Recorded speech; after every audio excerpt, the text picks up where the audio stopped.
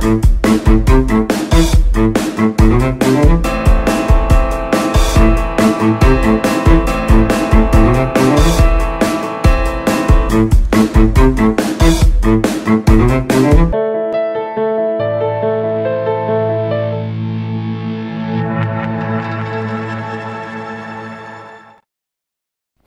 und herzlich willkommen zu Unterwegs in Dessau 28. Ich zeige euch heute die Jagdbrücke. Die Fertigstellung von der Jagdbrücke ist noch gar nicht so lange her, das war 1993. Beteiligt war der Diplom-Ingenieur Siegfried Link. Durch das Bauwerk wurde eine historische Verbindung, der Fürst-Franz-Weg nach Wörlitz, wiederhergestellt.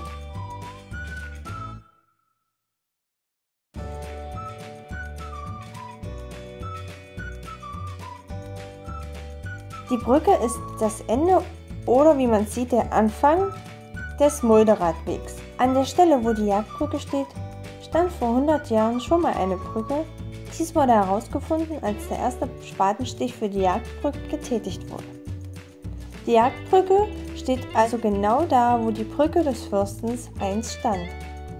Die Baustoffe sind im Fundament Stahlbeton und im Fachwerkträger Holz. Auf der Jagdbrücke befinden sich jeweils zwei Aussichtsplattformen auf jeweils linker und rechter Seite.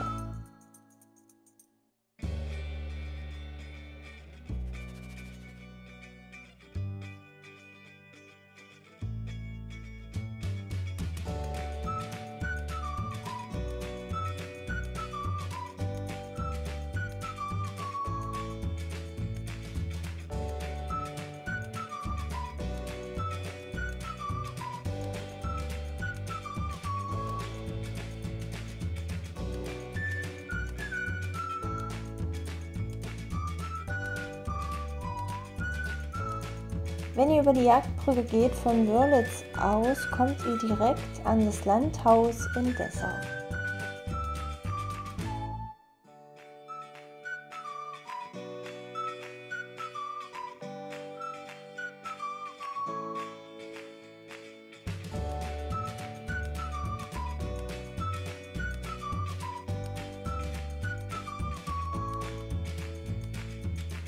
Ich bedanke mich fürs Zuschauen.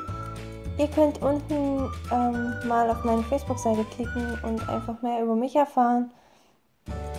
Ansonsten wünsche ich euch noch einen wunderschönen Sonntag und nochmals danke fürs Zuschauen. Bis zum nächsten Unterwegs in Bissau. Tschüss!